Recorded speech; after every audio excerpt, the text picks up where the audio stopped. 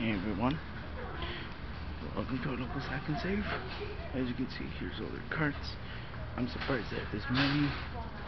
They normally don't have this many carts. These are used to be pretty empty. They have a lot of them now. Pretty interesting, eh? Hey boys. This one here is interesting because it's got different style wheels.